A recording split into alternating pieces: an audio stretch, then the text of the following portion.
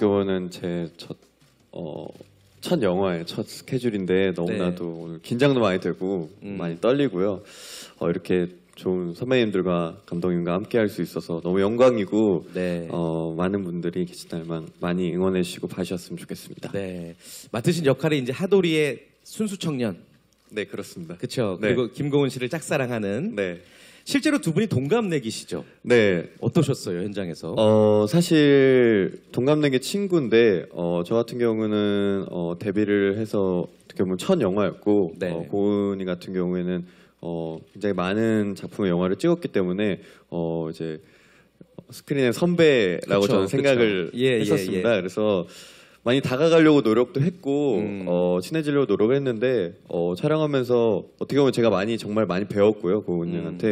많이 배우고 많이 저를 편하게 대해주려고 해줘가지고 어, 이 자리 빌어서 다시 한번 고맙다는 말. 먼저 하고 경험해본 입장으로서 많이 배려를 해주셨군요. 알겠습니다.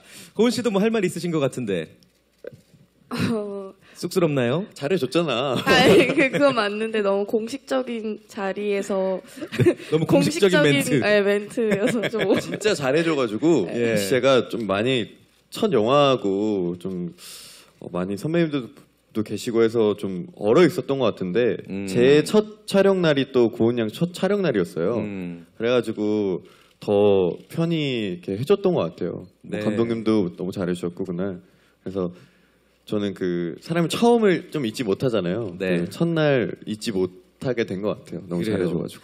또 워낙 친...